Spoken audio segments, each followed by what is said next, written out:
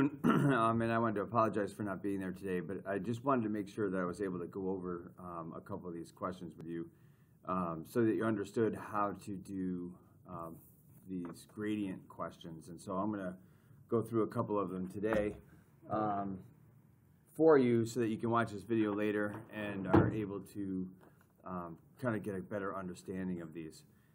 if you look, I have a simple map here. It has, you know, topographic map. We have the Excelsior River here, and that's actually what we're going to be finding the gradient of here. So it says, what is the gradient of the entire length of Excelsior River? And so I need to find out, first of all, there's a couple things I need to find out. Gradient, right? Gradient equals change in field value. I'm going to use my triangle. Change in field value, right, which is the difference in elevation divided by the distance that it covers. So that's my formula. If you look up in the reference tables, it says it and it's, it's written out um, a little bit differently, but you also need the units for those. So first thing I want to do is I'm going to look and see that um, my map is in miles, and it appears that um, you know it appears that they they're going to do feet here. Um, you know, looking at this diagram and looking at the answers, I can see that it's probably going to be in feet, even though it doesn't give me that in the key. It should, but it doesn't. So anyway, so I need to find, it says, what is the gradient of the entire length of Excelsior River? And um, so I, and I, it's a multiple choice, so I'm, I'm going to be pretty close, you know, as far as that goes. So the first thing I need to do is I need to find the length of this river um, and the, the difference between the highest point and the lowest point. And if you notice, they have this little tail up here. Sometimes they include that in the question, sometimes they don't. But if we're close with a multiple choice question, it should be pretty simple. So we have 0 and 200. So the first thing I'm going to write down here is the difference between the two is 200 minus 0, right? So that's the first part. And then I'm going to find my distance. And the way I'm going to do it is I'm going to use a little card here. You can use a pencil or pretty much anything you have available to you.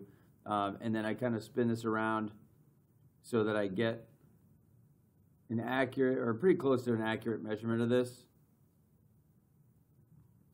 And I mark each spot where it crosses. And then this is pretty, this is straight enough here, so I'm going to draw that out. So this is the length from here to here is the length of, of that uh, river or stream. So I'm going to mark here, I have my first point, and that is going to be 10 miles. And then if you look here, I have a distance of 8, so that's about 18. So 8, and this is 10. So I have about 18 miles of distance. And so let's look at that. I have um, 18 down here.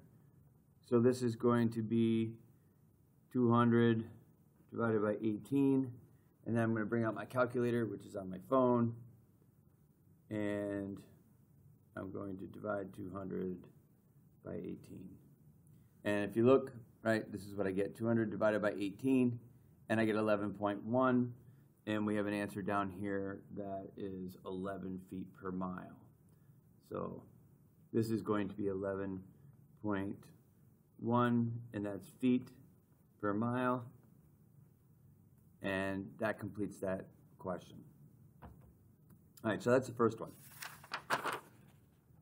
All right, so number two, oh, that's on the back. So number two, right, I have a map here, um, topographic map. You have a couple creeks, and I have a couple profile lines and a couple other things. So it says, what is the approximate gradient along BD? So we have a line BD, right? So I'm going to take my formula, I'm going to write it over here. Gradient equals change in field value divided by my distance that it covers. And I'm going to work down so you can see. So I have gradient equals my change in field value. I have 100 and I have 50. So it's 100 minus 50. And then I have to find out my distance, and this is a little bit easier one.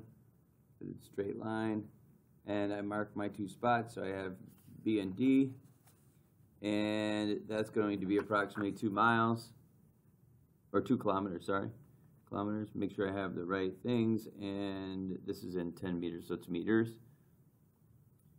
And so now I do my calculations. I get 100 minus 50, which is 50, and that's meters. And I have two kilometers.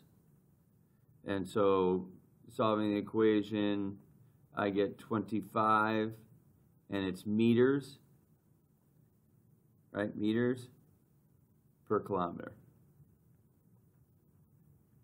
So it's 50 divided by 2, which is 25, and then I have meters per kilometers left over. And so that's the answer to number 2.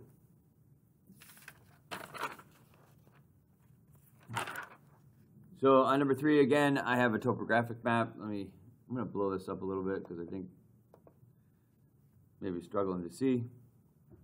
Um, you can follow along though on the one on the, that you have on the computer too. So, all right. So here we have a bunch of different things here going on. It's again, it's a topographic map. If you notice, the ocean is over here, so our bottom level is going to be zero. Um, our contour interval is 10 meters, and here's our scale. It's in kilometers, so we have meters per kilometers when we're doing our gradient. So calculate gradient between B and C. So B and C, notice there's no line, but that's fine. We don't need a line. Um, and so let's go down here, and I'm going to write my formula down. Gradient equals change in field value divided by distance. So gradient equals my change in field value. So I have 10 meters, so it's 10. And it looks like C is on that index contour, right, the darker line, which is 50. So I have 50 minus 10, and you can write that either way. I just write it that way because it's easier. And then I'm going to divide that by my distance. So I need my distance here. So I'm going to use my same card. And it's right here to right here. And that is 2. So it's this is meters, and this is 2 kilometers.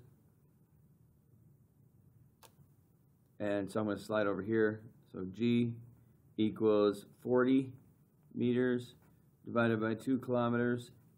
And then G will equal 20 meters per kilometers. Now notice this is not a multiple choice. This is a little bit harder because you actually have to come up with the answer. Make sure that you are putting your units with your answer um, if it's not a multiple choice. Um, otherwise, it's wrong. You have to have, remember, it's a number and a unit that goes with it. And in this case, our units are meters per kilometer. So make sure you have that. right, so let's go to number four. And again, we have a topographic map. Notice it's not a multiple choice again, right? And they're looking, it says calculate the gradient of Mud Creek between point C and D. Label your answer with the correct unit. So we're going from C to D. And I'm going to Let's do it over here. Again, my gradient equals change in field value divided by distance. So G equals my change in field value. Looks like this is an ocean, so it's an island, and 20 foot intervals, so we're in feet. So in this case, we have 100, and we're going down 20, so it's 80, 60, 40, so that's 20, or even if you go up, it's 20. So we have 80. Oh, no, sorry. That's 100. 100 minus 20 divided by my distance, which I'm going to figure out. My distance between C and D.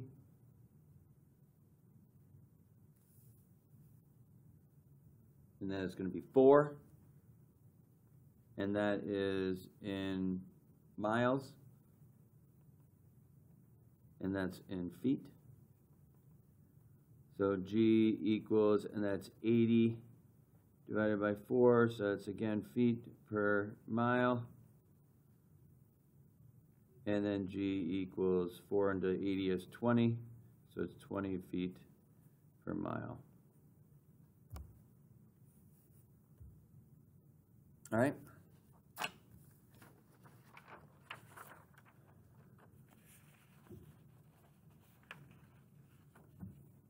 All right, so let's do, the last one I'm gonna do, um, is number five, and I'm gonna let you work on the rest of them by yourself. Let me back this off a little bit. And it says the diagram below represents a temperature field in degrees Celsius. Right, it says the approximate temperature gradient, or what is the approximate tem- temperature gradient from points X to points Y? So from here to here. All right, so we have, this is in meters. So our, our um, units are going to be Celsius per meter. So let's do it. Gradient equals change in field value divided by distance. So gradient equals my change in field value from x to y. And I gotta figure out my temperature gradient, or my contour interval here, or my, these would be isotherm, so my isotherm interval. So this is two, so that's 22, and this is 28. Sorry about that. So 28 degrees minus 22 degrees. And it's going to be a distance of, let's figure this out. I'm going to use one of my old marks.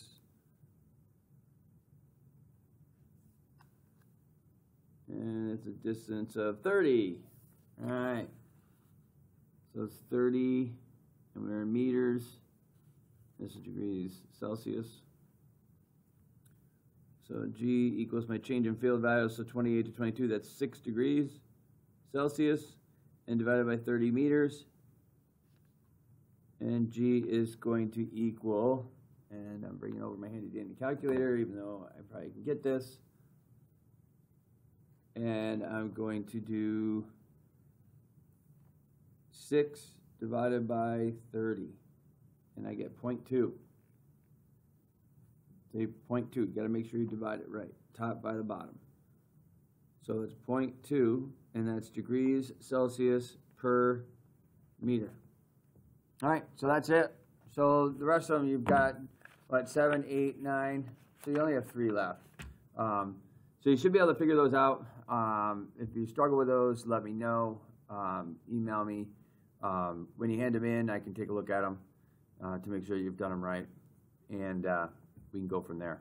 So again, right, this is the way you do that. Uh, I know it's a little bit harder on, uh, you know, on the computer screen, but you can use a pencil or you can use a piece of paper um, of some sort. If you have a piece of paper, it doesn't matter what kind of paper it is. Um, you just need a spot to mark the distances. So that's how you calculate gradient. Those are four good examples. Um, remember, you're going to have the test on, let's see, you'll have the test on Thursday.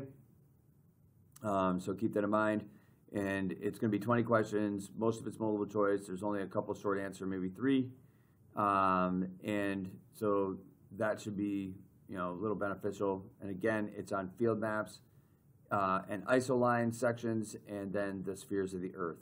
So keep in mind um, those are the things that you need to know. So good luck, and if you have any questions about what we're doing or what we you know what you need to do for the test, uh, again email me and we can go through those. All right, thank you very much and uh, have a good day again. Sorry I couldn't be there today.